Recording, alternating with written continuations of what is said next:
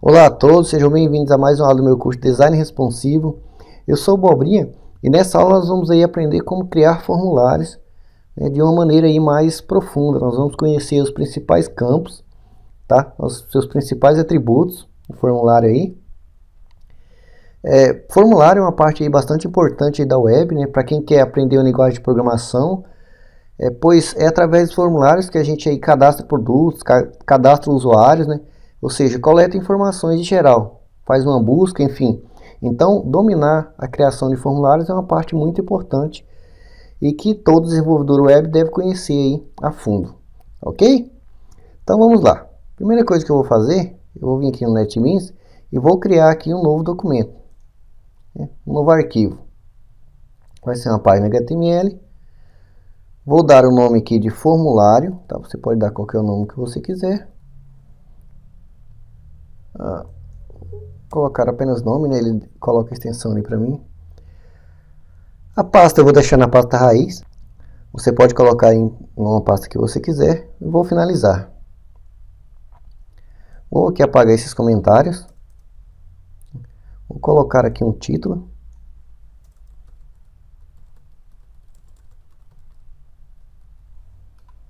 E vou colocar aqui embaixo. Vou apagar esse aqui. Vou colocar um H1 aqui também.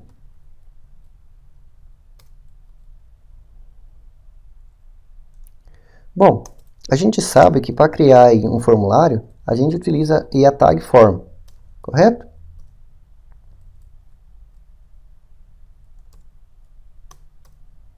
Algum espaço para ficar melhor aqui. Também sabemos que para criar aí um campo, a gente utiliza a tag input Definimos aqui um tipo, correto? Aqui no NetBeans, se você apertar a tecla Ctrl e barra de espaço, você vai receber uma lista aí, tá? É dos principais campos de formulários, dos principais tipos, né? De campos que você pode estar tá utilizando. Temos aí submit, time, texto, password, enfim as possibilidades que você pode estar utilizando aí. Tá? Nós vamos conhecer primeiramente aí o texto, tá? E vou simplesmente deixar assim. Então, só criei um, em um campo. Abaixo eu vou criar aí um outro input.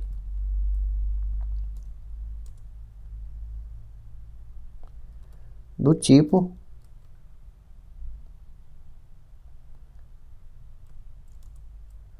password.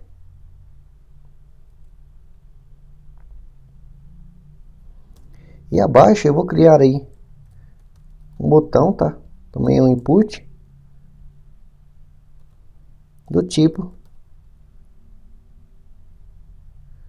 submit. Não vou definir nenhum atributo a mais para ele, tá? Nenhum valor. Vou dar aqui um Ctrl S para salvar. Vou clicar aqui executar o projeto para ver se ele me abre esse arquivo. Eu voltar aqui. Não, não abriu. Abriu aí a parte principal. No entanto, você pode vir aqui, tá? Voltar aqui no NetBeans, aqui em projeto. Veja que nós temos ali nosso formulário. Você clica ali com o botão direito e clica em executar arquivo.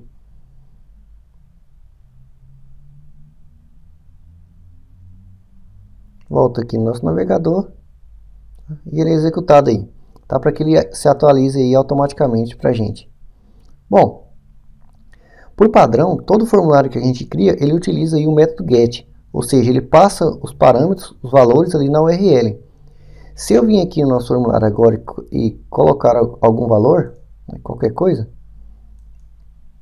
clica aqui em enviar, ele não, não vai, ele vai aparecer ali apenas é, ali no, na, no endereço URL apenas um sinal de exclamação. Seja, por quê? Porque nós temos que definir aqui um name para os campos que a gente quer. Por exemplo, aqui Nesse primeiro, eu vou colocar aqui o name de nome, tá? E vou dar aqui um Ctrl S para salvar. Não vou definir nada no outro, tá? Eu vou colocar aqui abobrinha com 2, 3, assim. Vou clicar em enviar. Perceba que agora ele atribuiu ali para mim na URL, tá? O nome do campo, tá? Eu coloquei o nome do campo de nome, né? E o valor, certo? Aqui no campo password eu vou definir aqui o name tá? de senha. Ctrl S para salvar. Venho aqui novamente e coloco, vou colocar a senha 123. Clique em enviar. E perceba que ele acrescentou ali, tá? Um i comercial, ou seja, significa a separação de um campo e outro, tá? E ele me mostrou ali a senha que eu digitei. Apesar de no formulário aqui não aparecer o que eu digito, na URL aparece. Por quê? Porque por padrão, nosso formulário ele utiliza aí o método get. Então, vamos aí utilizar aí os principais atributos aí do formulário agora. Vamos conhecer um, o primeiro, a gente já conhece, que é o name, tá? Ou seja, para a gente definir aí o nome do formulário. Também podemos definir aqui o nosso método. Por padrão, o método é get. Então, se você pode colocar de forma explícita, né, desta forma, ou você pode colocar um, um método post. Tá? Esse método post deve ser sempre colocado em formulários que você não quer revelar os dados, tá? Você não quer exibir os dados para o usuário. Então você coloca aí o método post para que os dados não apareçam na URL como a gente viu ali. Ou seja, se, se tem senha ou algum campo que contém alguma informação que você não quer que seja revelado. Então, você utiliza aí o método post. Perceba que se eu vim agora e colocar aqui senha 123, clicar em enviar, tá? Ele vai me enviar, deixa eu voltar aqui e apagar aqui para você ver que ele não vai aparecer na URL. Apaguei, colocar a senha novamente, 123, clique em enviar. Ou seja, ele envia os dados, né? claro, a gente não definiu é, para onde o formulário vai, tá? Mas perceba que aqui na URL não me é exibido nenhum valor. Ou seja, este é o método post. Ele não aparece aí os dados. Deixa eu limpar aqui. Correto? Bom, além aí do método do método, né, getPost, nós temos também aqui o action. Ou seja, a ação. Para onde é que o nosso formulário vai? Por exemplo, se eu tenho aí, é, se eu tivesse outra página, é uma página dinâmica que fosse receber esses dados, por exemplo aqui, recebe dados.php. Essa página recebe dados.php poderia receber os dados do meu formulário. Então eu devo utilizar aqui o action para informar aí o nosso formulário para onde ele deve mandar esses dados. Vou dar aqui um Ctrl S para salvar. Vem aqui nosso formulário, colocar um, dois, três novamente e vou clicar em enviar. E perceba que eu sou jogado aqui, tá? Para a página recebe dados.php, que foi a que eu defini ali correto? Então, com action, eu posso definir para onde o nosso formulário vai. Eu posso deixar o action vazio também, caso eu esteja trabalhando é, com PHP, por exemplo, ele recebe dados vazios na própria página, ou seja, eu poderia definir aqui uma tag PHP e receber os dados do formulário na própria página, eu poderia deixar em branco. Neste caso, eu vou colocar apenas uma exclamação, né, para você identificar que você pode é, mandar para uma página ou para a mesma página também. Ok? E outra coisa é muito importante para quem vai trabalhar com envios de dados é a propriedade EncType. Tá? Então, com o EncType, a gente, caso a gente vai enviar imagens, é, documentos, você tem que colocar é, o atributo EncType. Certo? E nesse EncType você vai colocar multipart tá? barra form data correto? Então, seja, é dados multipartes, né, que você pode, é o que te permite aí te enviar é, imagens e outros documentos em geral, ok? Então, no form, esses são os principais é, atributos tá, que você tem, que você deve utilizar aí na criação de seus formulários, correto? Bom, continuando aqui, é, veja que nós criamos aqui é, dois campos apenas, mas digamos que eu tivesse aí bastante campos. Né? Então, existe aí propriedade para gente do formulário para que a gente separe aí esses campos. Então, vou dar aqui um Ctrl X para recortar. Nós temos aí o nosso field set,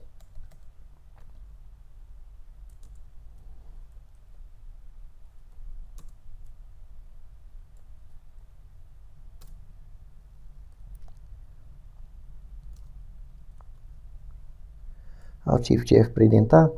Então esse field set ele separa para mim né? Ah, ou seja, neste caso aqui ele vai separar para mim esses campos. Então vou dar um Ctrl S aqui para salvar. Perceba que ele criou ali para mim, né? Uma caixa. Então ele vai até o final. Certo? Então você pode utilizar esse field set para separar aí campos.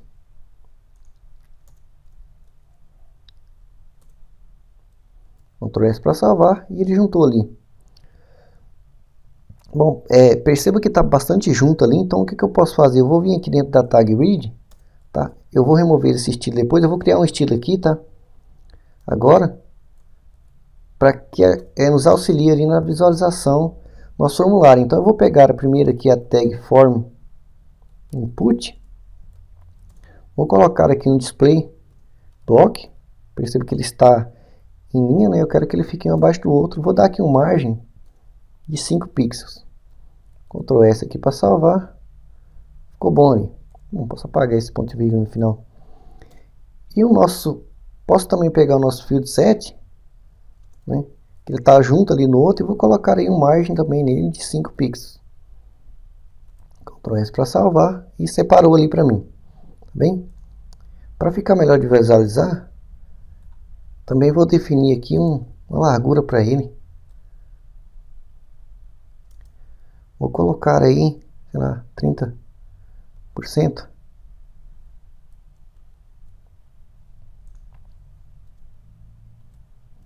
Ctrl S para salvar. E tá legal ali para mim. Só pra, somente, eu depois eu vou remover esse estilo, tá? É só para ficar mais fácil da gente estar tá visualizando. Esse aqui é a barra de rolagem.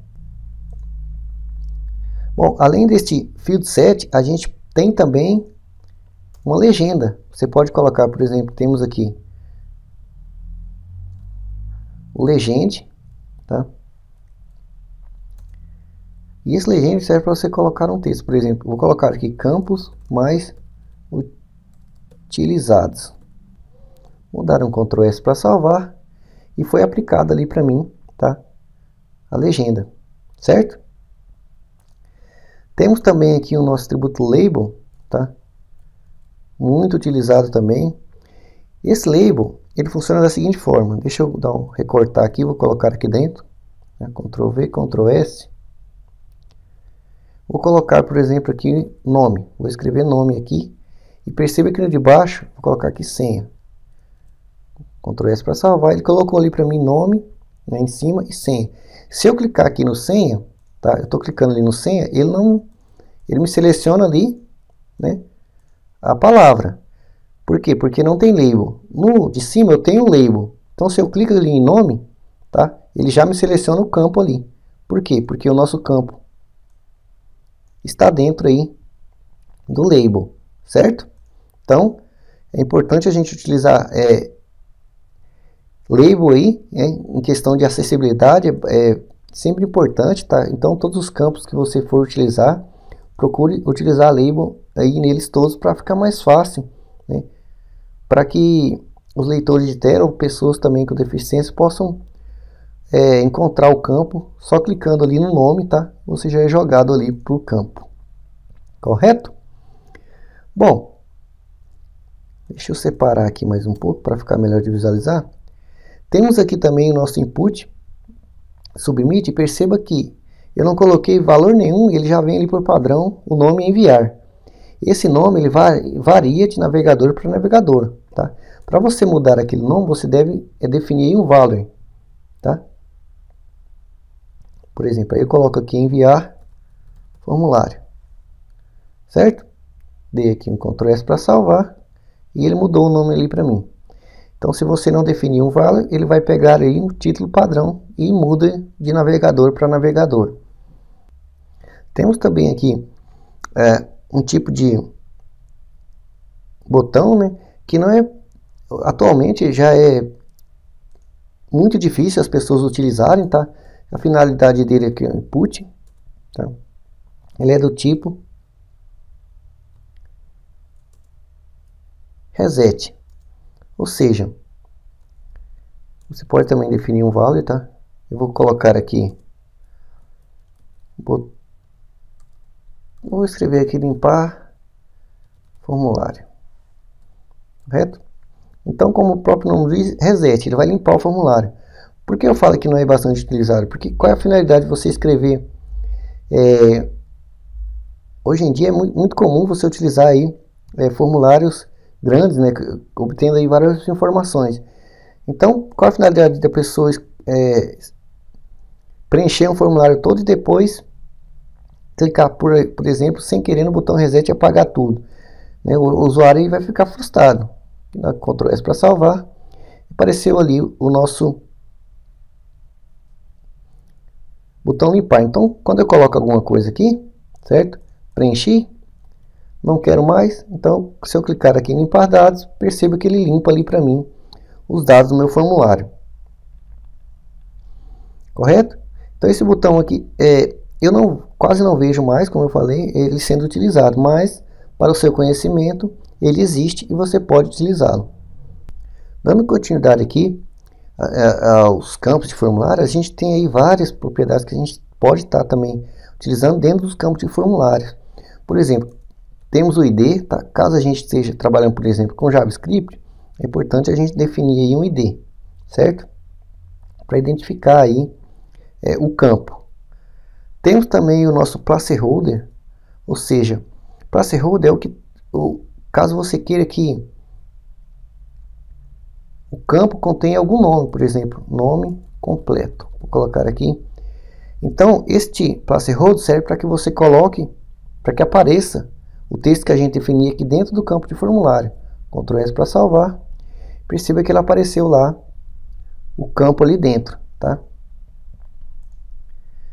Podemos também definir aqui um max leng, tá? E esse max lang, eu posso definir quantos caracteres eu posso digitar. Por exemplo, eu vou colocar aqui 5, tá? Ctrl S para salvar. E ao tentar digitar aqui, eu só vou conseguir digitar 5 caracteres. Ele não me deixa digitar mais. Ok? Utilizando aí o max lang. Temos também algo muito importante, tá? É que é o aqui, ó, o Rickard, o Rickard, o Rickard, o meu inglês é horrível, tá? Desculpa por isso, mas um dia eu chego lá. Bom, perceba que ao clicar em, em requerido, ele me colocou o sinal de igual e duas aspas duplas. Você pode apagar, tá? ele não é necessário. Então, com esse atributo requerido, quer dizer, eu estou informando ao campo né, que você que ele deve ser, que ele é obrigatório, certo? Se eu clicar aqui em enviar formulário, ele vai me dar um alerta ali é, que o campo é obrigatório, certo? Então, se você quer que o formulário seja enviado apenas se ele for preenchido, então você usa aí é, o, a propriedade requerida, certo? Você pode utilizar em quantos campos você quiser, tá? Por exemplo, coloquei aqui em senha, tá? Ao preencher o nome, clicar em enviar, ele me pede também preencher para preencher ali o campo senha. Então você pode utilizar aí em todos, tá ok? Você dei dois cliques aqui no, senha, vou Ctrl X para recortar, vou definir aqui um label, tá? Coloquei aqui, ah, deixa eu colocar esse campo senha aqui dentro, tá? Eu não vou fazer isso com os demais campos e nem aplicar as propriedades, tá? porque isso fica a seu critério, tá? Aplicar ou não essas alterações. O label eu recomendo que você, você sempre utilize, como eu falei, por questões de acessibilidade, tá bem? Vou dar aqui um Ctrl S para salvar. Então existem vários atributos que você pode estar utilizando, tá? Caso você encontre um, um tipo de campo, por exemplo, esse input tipo texto, eu coloco aí um atributo, por exemplo, esse atributo max né?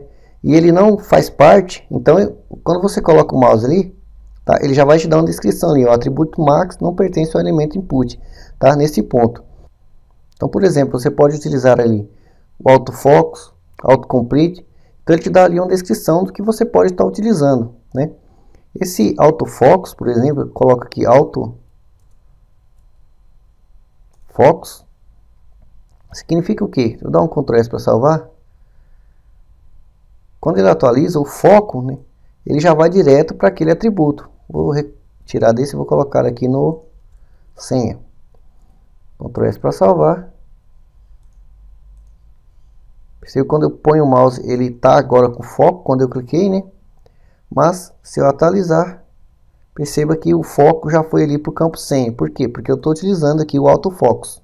Correto? Outra coisa aí bastante utilizada é também o atributo tab index. Digamos aí que você tem aí vários campos. Quando você vai apertando o tab, deixa eu dar um Ctrl Z aqui para voltar só para mostrar o seguinte. Eu estou aqui no primeiro campo, quando eu aperto tab, eu vou para o segundo campo, certo? Atualizei. Deixa eu criar mais um campo aqui. Tá. Vamos conhecer mais um campo. Todos já são conhecidos, né? Alt Shift F para identar. Vou colocar aqui e-mail. Tá? O tipo e-mail. Vou definir o nome aqui de e-mail também. Vou deixar o REC, vou tirar aqui o autofocus, tá? Ctrl S para salvar. Bom, então, aqui no nosso formulário, quando eu aperto aí o Tab, né? Apertei o Tab, ou seja, ele vai na ordem 1, 2, 3, tá? E vai indo. Por quê? Porque ele segue a ordem natural utilizando o tab index. Mas digamos que eu, ao atualizar o formulário, eu quero que né, o primeiro campo ali seja, por exemplo, esse e-mail. Então, eu posso utilizar aqui o tab index, vou definir esse como 1. Tá? Este outro aqui, o 100, eu vou definir como tab index 2. E o último aqui, eu vou definir tá, o nome como tab index 3. Vou salvar. E perceba que ele me deu ali quando eu atualizo, né? Porque por causa do foco. Deixa eu tirar o, o autofocus aqui. Porque ele está com foco, né, na senha. Ctrl S para salvar. Pronto, e agora eu não tenho foco em campo nenhum.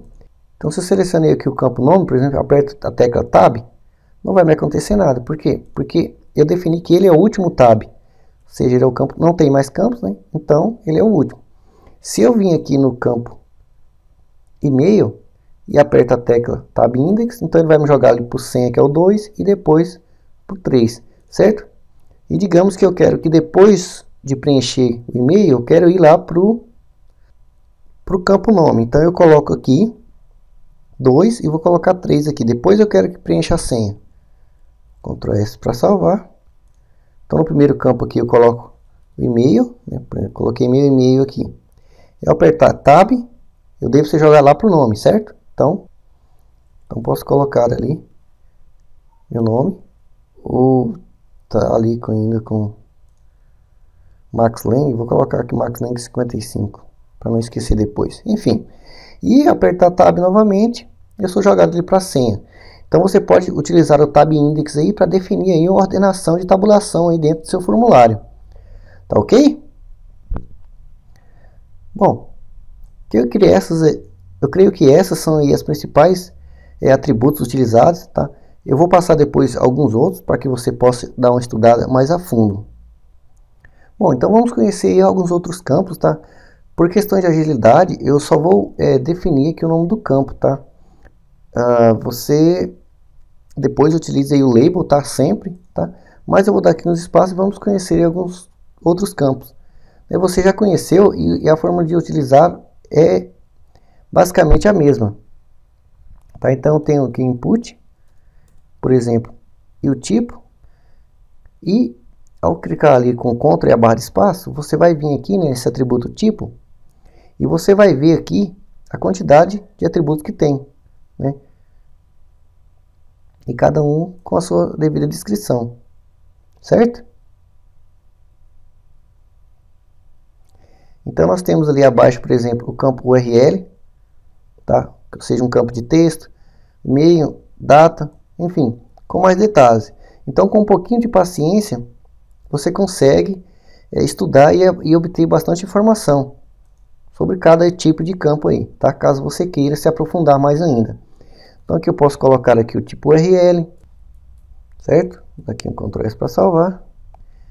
E tá lá o campo URL. Não coloquei, não defini aqui nome, né? Posso colocar aqui o URL para ficar melhor de identificar. Temos também aqui o input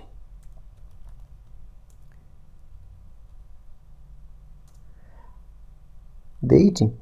Esse campo está sendo aí frequentemente utilizado, tá? No entanto, ele é um campo que não funciona em todos os navegadores. Por exemplo, se você fizer um teste, deixa eu aqui colocar aqui título aqui, tá? Coloca aqui data. Então esse campo aqui, ele me, exibiu ali a data. Perceba que ele aparece ali para mim no formulário para me selecionar a data que eu quero, certo? Mas este, este atributo ainda não funciona em todos os navegadores. Por exemplo, o Firefox, até a data dessa grava gravação, a versão que eu estou utilizando não aceita né, é, utilizar esse atributo. Então ele não vai funcionar, certo? Então você deve aí tomar cuidado para utilizar ele aí. E neste é, input, nesse tipo de data, como em alguns outros, você pode utilizar, por exemplo, os atributos max, tá? E o min. Ou seja, você pode definir uma data máxima e uma data mínima. Mas o formato, no formato em inglês, por exemplo, aqui eu posso colocar 2016, tá? Posso colocar aqui o máximo, por exemplo, uh, 31 tá? do 12. E posso, de, deixa eu tirar esse atributo mínimo aqui por enquanto. E, ah, coloquei a data errada aqui, tá pessoal? Então a data em inglês, pessoal, é o que? É o ano, certo? O mês, tá? E o dia. Então, dei aqui um Ctrl S para salvar. Perceba que eu coloquei a, a, data máxima aqui, tá certo? Eu defini uma, uma máxima aqui para a idade. Eu defini um máximo aqui para a data. Então, se eu colocar aqui, selecionar, e for passando aqui, perceba que ele colocou aqui para dezembro, tá? No entanto, ele não me deixa, se eu clico ali, tento clicar, ele não deixa eu passar, tá? Para o ano de 2017. Por quê? Porque eu defini aqui o máximo, tá? E a mesma coisa que você pode definir aí para o atributo mínimo, né? Você pode definir aí uma data mínima, né? por exemplo, até uh, o mês 6, tá? Perceba que ele não aceita uh, 6, tá? Você tem que colocar 06. E o mês 6 não tem, né, uh, o dia 31. Então, vou colocar aqui o dia 25, por exemplo. Perceba que ele vai corrigindo aí para a gente. Então, dou um Ctrl S para salvar. E ali a gente não pode, né? A gente chega ali no máximo ao dia 25, que foi o que a gente definiu ali como mínimo, certo? Então, é um atributo aí bastante bacana, que no futuro com certeza vai ser frequentemente utilizado assim que tiver suportado aí em todos os navegadores. Outro campo aí bastante utilizado, tá? É o campo do tipo rádio. Tipo rádio. Fecho aqui, no Ctrl S para salvar e aparece ali para mim uma bolinha. Né? Ou seja, para que a gente escolha um ou outro. É bastante utilizado para a gente escolher, por exemplo, um sexo. Então, para ficar melhor aqui, eu vou até dar um espaço aqui, vou definir aqui um label. Vamos ver aqui na prática. Dentro eu vou definir aqui um input. Tá do tipo rádio. E vou definir um name, tá? De sexo. E vou definir o valor. Colocar aqui masculino. Certo? Posso até colocar o nome aqui já, né? Masculino. Ctrl S para salvar. E perceba que ele adicionou ali para mim masculino. Quando eu clico aqui no texto masculino, né, por ele estar tá utilizando o label, ele já seleciona para mim o botãozinho ali. O de baixo, se eu posso colocar, por exemplo, menino, como a gente já viu, se não tiver aí, se não tiver aí o label, não dá para selecionar, certo? Então vamos colocar aqui também.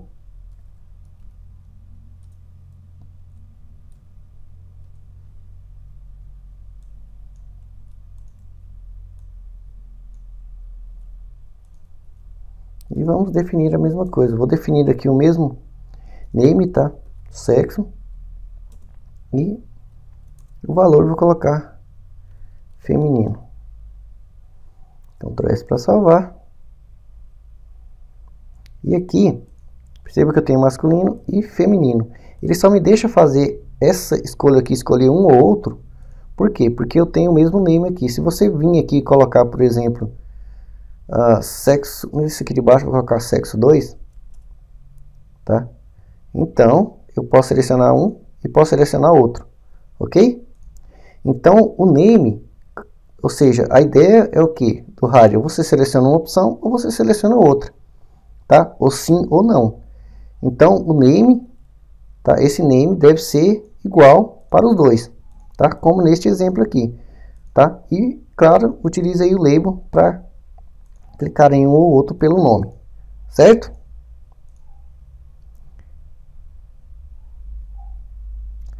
Continuando então, vimos aí o tipo rádio, temos também outro que é frequentemente utilizado, né, bastante utilizado, que é o input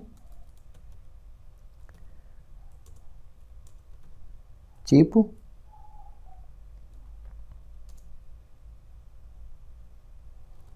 checkbox. Definir aqui um checkbox, então Ctrl S para salvar e perceba que ele me aparece ali em opção.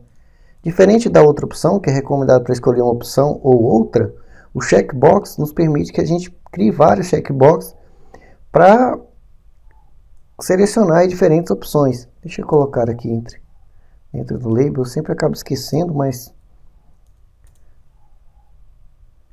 a gente pode colocar assim. Você pode dar para ele várias opções, por exemplo, eu vou colocar para definir um name aqui, por exemplo, é, sei lá, concordo, né? por exemplo, para que a pessoa, por exemplo, esteja é, fazendo um cadastro e para que ele faça esse cadastro é preciso que ele clique ali né, é, no, na opção concordo. Deixa eu dar aqui um Ctrl S, posso colocar até um nome aqui. Então, se eu clicar ali no texto, ele marca ali para mim, tá? Você pode colocar é, desta forma e você pode definir outros também, né? Você pode definir quantos você quiser, né? Vou colocar aqui mais um aqui abaixo, Alt Shift F para identar. Eu vou colocar a opção aqui, é...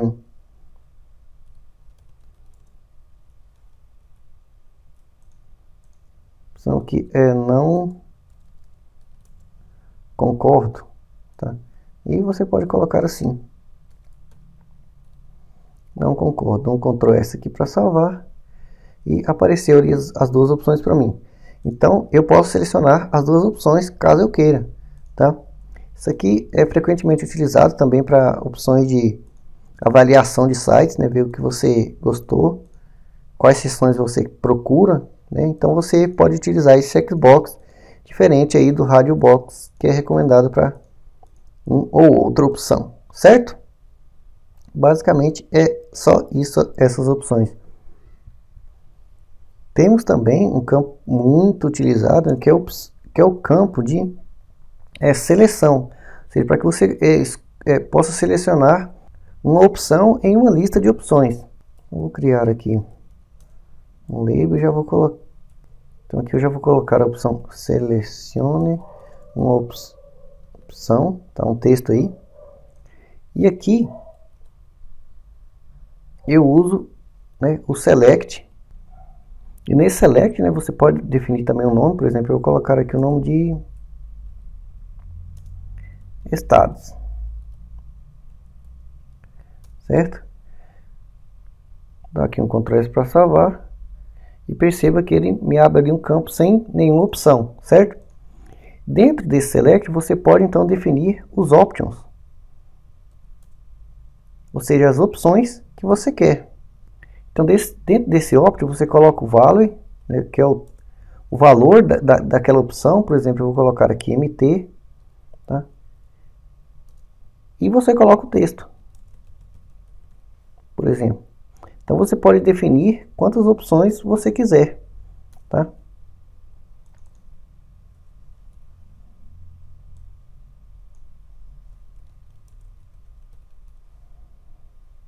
desta forma. Certo? Deixa eu colocar só mais um aqui para dar mais um exemplo, tá? Aqui o RJ.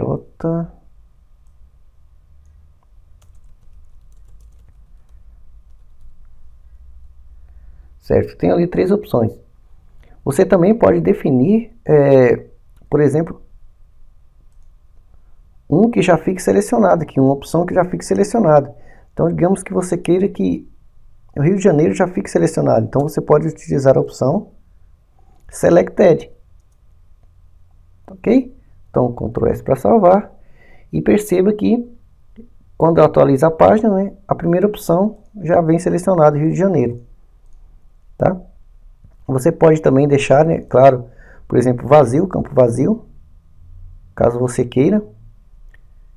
Que o primeiro campo algumas pessoas utilizam, por exemplo, deixa eu vir aqui. Uh, algumas pessoas não colocam texto, colocam desta forma aqui, vazio, e coloca assim. Selecione uma opção. Deixa eu tirar o select aqui, né? senão não vai funcionar. E perceba que está ali. A primeira opção vem vazia e as demais. Então, perceba que este campo é vazio. Você pode validar ele também né, como campo vazio, caso você queira. Então, é uma opção de utilizar também. Coloquei estados aqui, né? Que português bonito. Estados. Correto? Você também pode, né, além de definir aqui, você pode dividir é, em grupos, tá? Por exemplo, esses dois aqui, deixa eu colocar mais um aqui. Por exemplo, deixa eu, eu vou apagar isso aqui, perceba que eu tenho aí três estados. Digamos que eu queira dividir, né, eles em grupos ou em regiões, enfim. Então eu vou selecionar esses dois, Ctrl X para recortar, você pode utilizar a opção OPT Group, certo? E nesse OPT Group, deixa eu colocar aqui os outros, tá? Você pode vir aqui no OPT Group e definir, por exemplo, aqui um label, tá? Você tem que definir um label, certo? Por exemplo, eu vou colocar aqui é, grupo 1, os, enfim, salvei aqui, perceba que ele me apareceu ali grupo 1, então eu tenho Mato Grosso e São Paulo, tá? E o outro aqui está fora da minha seleção, mas o correto é que eu venha aqui, né? utilize option group, né? define um label, por exemplo, coloco aqui então o grupo 2,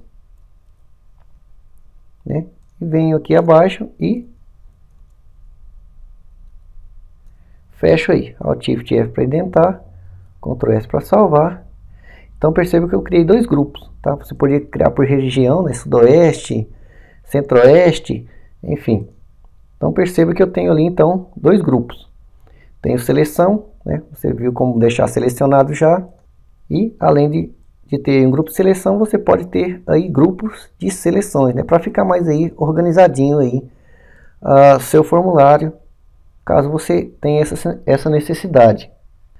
Bom, continuando então, conhecemos essa aí. Temos também aqui um campo muito importante, tá? Que ele não é um input, tá? A gente não utiliza aí a, a tag input, Tá? A gente utiliza o nosso testiário. Então temos aí o nosso elemento testiária. E com ele a gente define é, uma caixa de mensagem. Deixa eu Ctrl S aqui para salvar. Perceba que ela apareceu ali para mim a caixa de mensagem. Tá? Vou colocar aqui um texto. Para a gente identificando ali.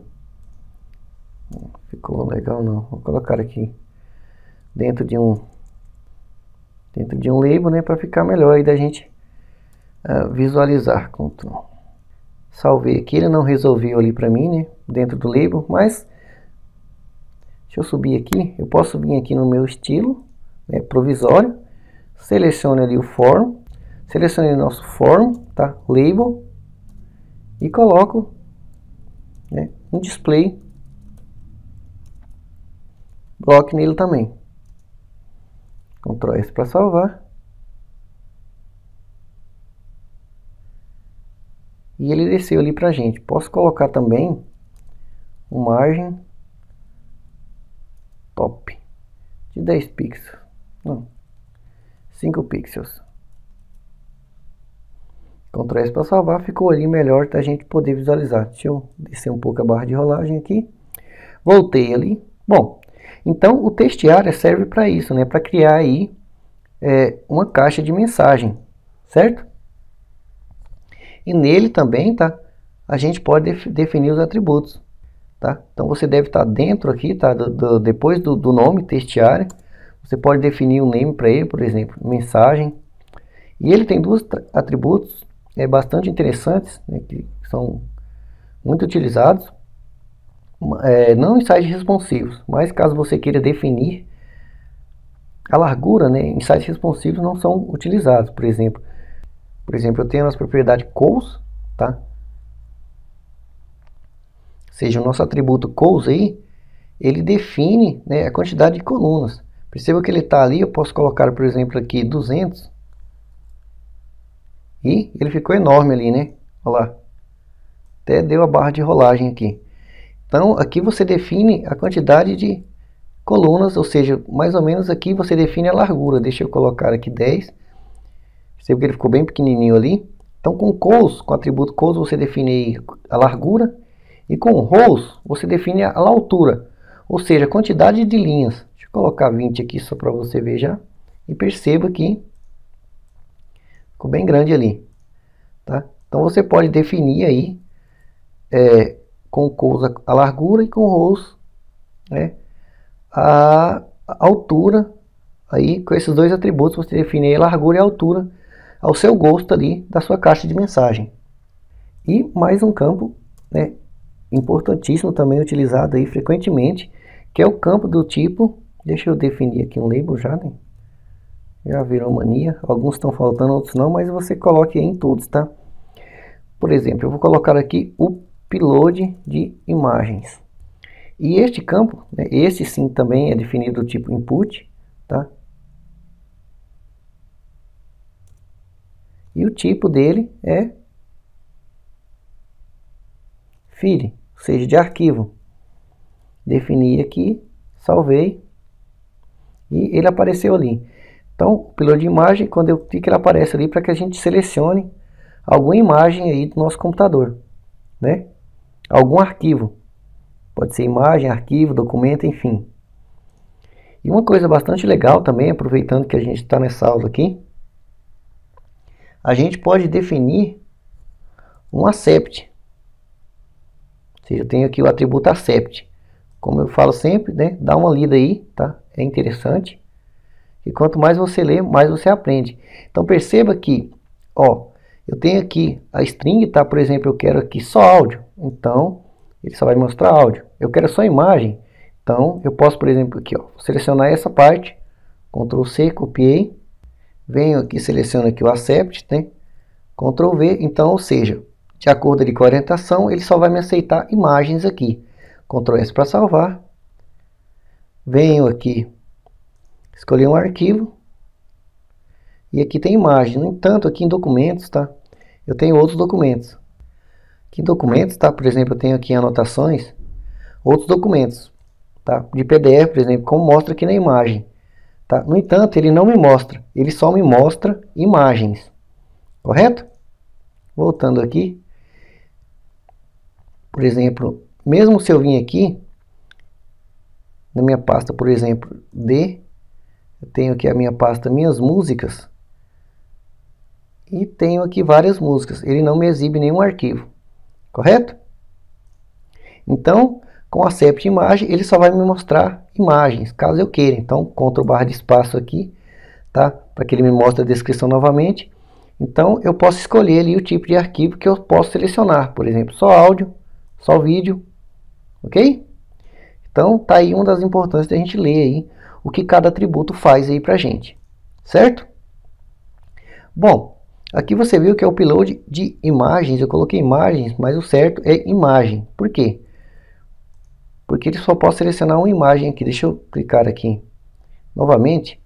Perceba que eu tenho uma, se eu, mesmo se eu segurar Ctrl e tentar selecionar a outra, ele não me deixa selecionar. correto? Ou seja, eu só posso selecionar um arquivo só de imagem. Cancelo aqui, volto. Vou até selecionar aqui, Ctrl C aqui abaixo, vou dar aqui um Ctrl V, Alt Shift F para identar. E agora sim eu posso colocar aqui imagens, né? Como eu defino aí múltiplas imagens? Ou seja, para que eu possa selecionar múltiplos arquivos também. Então, por exemplo, aqui no Feeling, tá? Eu vou remover tá? as aspas duplas, você tem que remover ou não vai funcionar, tá? E você coloca depois dele múltiplo, tá? Temos aqui o atributo múltiplo, tá? Que pode ser adicionado. Perceba que ele também tem as descrições, tá?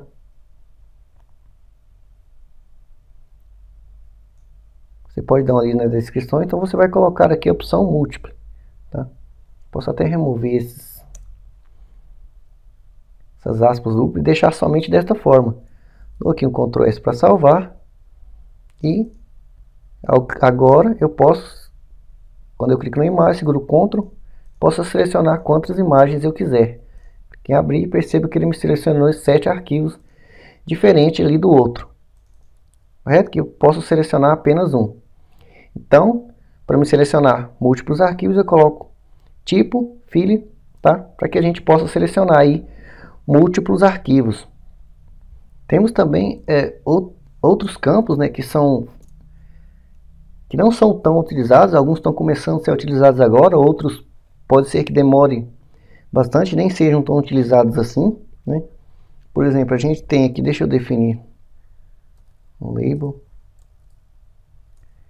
Eu já vou deixar esse label aqui em memória, tá? Para a gente ganhar tempo aí. Vamos deixar copiado em memória. Então eu tenho aqui o campo do tipo número também, tá? E input.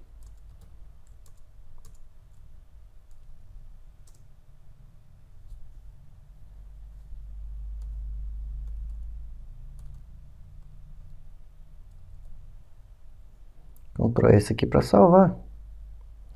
E esse campo número, ou seja, permite que você selecione números ali, tá? Positivos, negativos, enfim. Essa é a finalidade dele. E ele você pode também definir, por exemplo, um min, por exemplo, eu vou colocar aqui 3. Você pode definir um max também, colocar aqui 6. Aqui um Ctrl S para salvar. E perceba que ele não me deixa descer menos que 3 e não me deixa passar de 6, ok?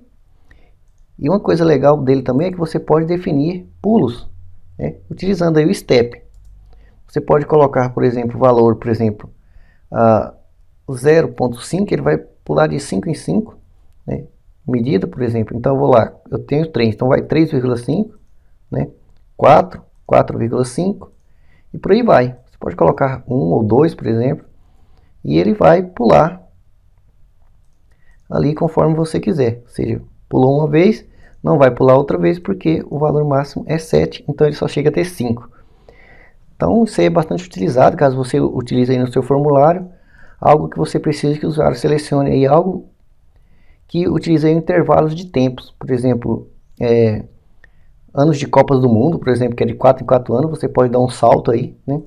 Enfim, essa aí, esse aí é mais um campo aí que está sendo aí que está crescendo aí o seu uso aí na web. E claro, você também pode é, deixar aí um valor né, pré-selecionado, caso você queira. Por exemplo, 5. Atualizei, ele já fica ali com 5. Certo? Não vai para baixo. Bom, continuando aqui, deixa eu descer aqui a barra de rolagem, ficar melhor de visualizar. Temos um campo também, tá? Vou dar até o nome aqui de range, tá? E definimos ele aqui input, tipo range. Ctrl S para salvar. E tem ali, seja, para que você possa selecionar, por exemplo, é, trabalhando com JavaScript, aumentar ou diminuir o volume, tá? E no atributo range, assim como no número, você pode definir o mínimo, o max, tá? O step não, mas você pode definir também o valor, caso você queira é, adicionar aí, tá bem? Temos também um atributo chamado cor, né? ou seja, um campo chamado cor. Put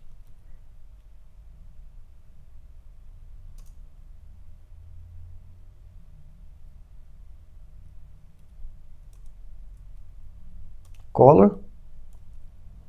Ou seja, ele serve apenas para exibir ali, né, ali. Ele vai, vai mudar esse aqui de acordo com o navegador, tá? Ou seja, você definiu aqui cor, você pode selecionar uma cor, tá? Também serve para consultar, tá? Ele vai abrir uma paleta de cores que você possa consultar, caso necessário. E ali no, nos campos de datas, né? É, continuando aqui com um pouco de datas, a gente pode também é, selecionar, por exemplo, campo só com mês, por exemplo, eu vou definir aqui input.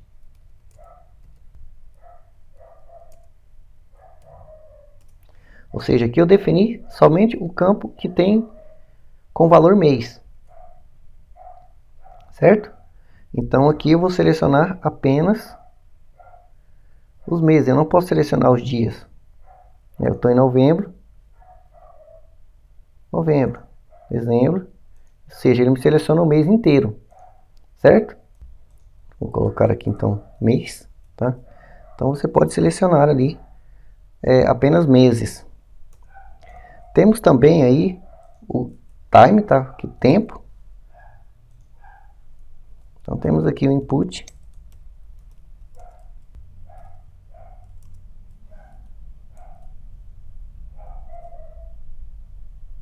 Até que a gente selecione ali, deixa eu descer aqui, a, a horário, né?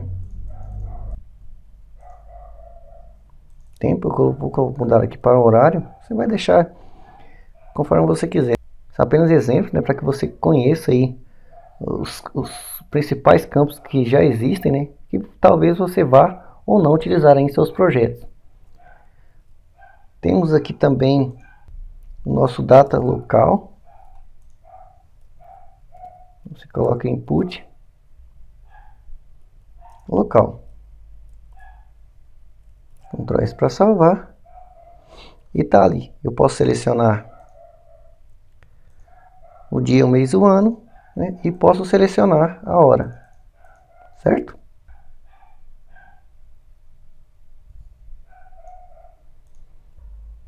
Temos um campo aqui chamado data list, tá?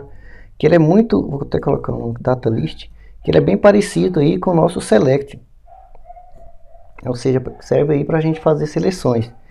Então eu tenho aqui o nosso input. Eu devo definir ele aqui do tipo texto certo? Vou colocar aqui o name dele de estados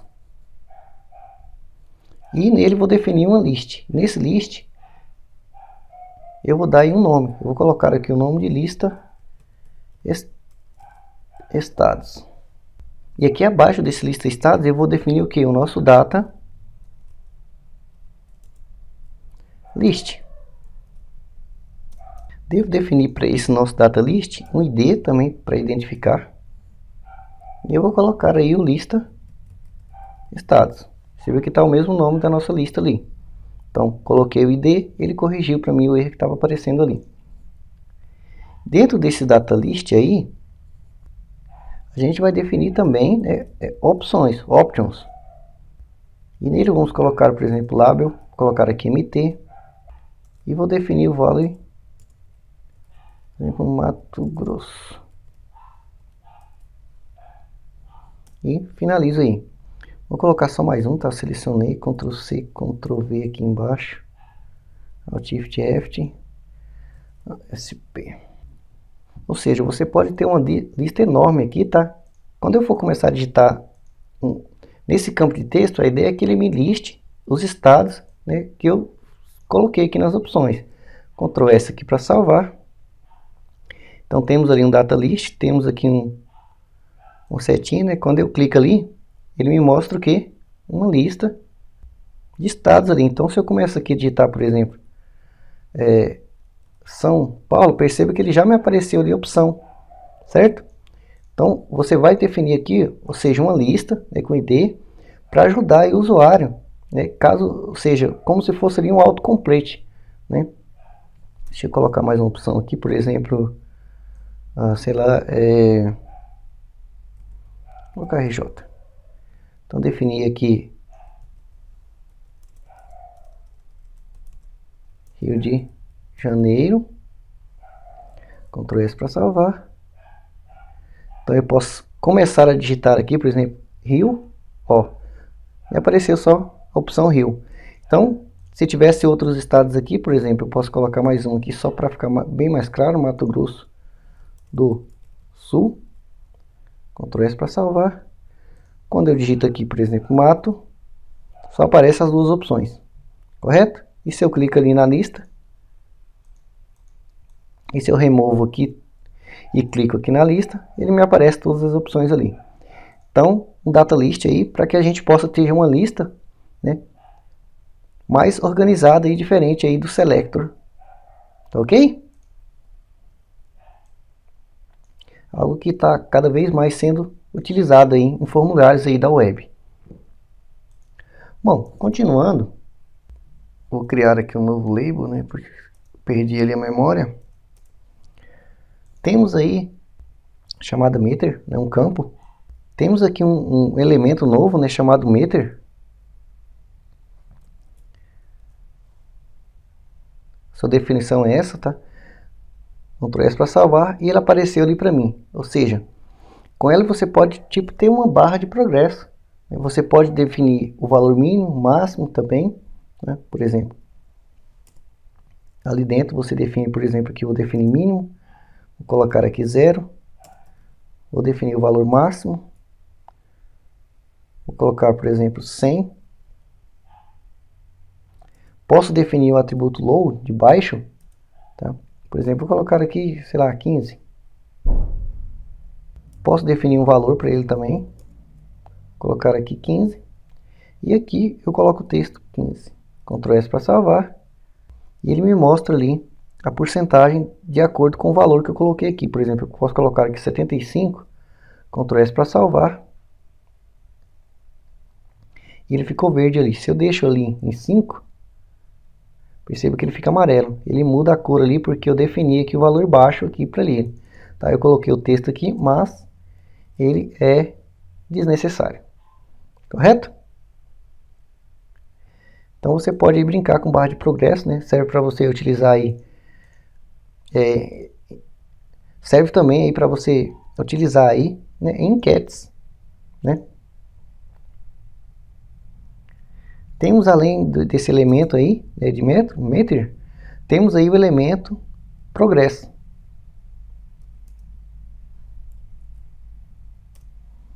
Ctrl S para salvar. E está ali para mim o progresso.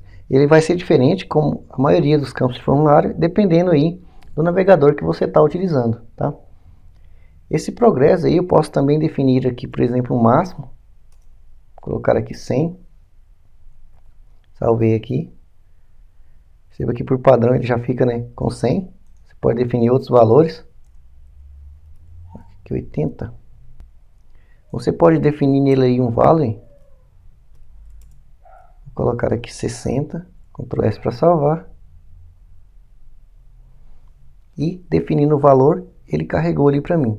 Então, você pode colocar, por exemplo, aqui 100 que ele vai pegar esse valor de acordo com o máximo que você definiu aqui. Então esse é elemento novo aí bacana, né? E o último campo né, que, que nós vamos aprender aqui, conhecer, é o input type hidden. Ou seja, ele é um campo oculto, tá? Ele não aparece para o usuário. Ou seja, no formulário, perceba que coloquei oculto, ele não apareceu aqui. Então esse campo input aqui você pode salvar aí algum conteúdo né, que você quer salvar do formulário, mas que você não quer que o usuário veja esse campo, certo? Você pode, por exemplo, estar tá aí dentro de uma seção, numa página dinâmica e querer salvar, por exemplo, o ID do usuário e você não quer que, por exemplo, você pode definir com o ID, né, você coloca aqui ID usuário, então este campo, é, o usuário que está preenchendo o formulário naquela hora não precisa saber, mas você precisa receber os dados é, deste campo lá na página que você for tratar né, o, do formulário, os dados do formulário. Então, como você precisa receber lá e o usuário não precisa ver o ID dele aqui, então você pode utilizar aí como exemplo o campo hidden. Ok? Bom, pessoal, esse, esse aí foi aí uma passada aí bem longa, né? É, nos principais campos de formulários, tá? Existem mais propriedades, características que você pode estar tá explorando aí, tá? Eu vou entrar aqui no site, bastante bacana. Então, pessoal, o site aqui, www.w3.org tr html5 forms.html. Nele você vai encontrar todas as informações referentes a formulários mais importantes tá, que existe aí. Ó. Por exemplo, são é, recomendações da W3C, né? Olha, ó, no ano de 2014, tá? E nele tem aí os atributos, a forma de utilizá-los, tá? Tem exemplos, tá? Bastante exemplos aí que você pode estar tá utilizando, inclusive outros atributos e outros elementos que nós não vimos, tá? Apesar de todo o texto ser em inglês, existe muita informação, tá? Nesta página aí, tudo sobre formulários aí. É um documento bem grande, tá? Você vai precisar de um tempo bastante longo aí para ver, tá? Você perceba que a nossa aula ficou bem grande. No entanto, como eu falei, dominar formulários, pelo menos o básico, é importantíssimo para quem deseja aprender uma linguagem de programação né, na web. Tá? Para quem deseja coletar informações, tratar essas informações do usuário. Ok? Então espero que vocês tenham gostado e até a próxima aula.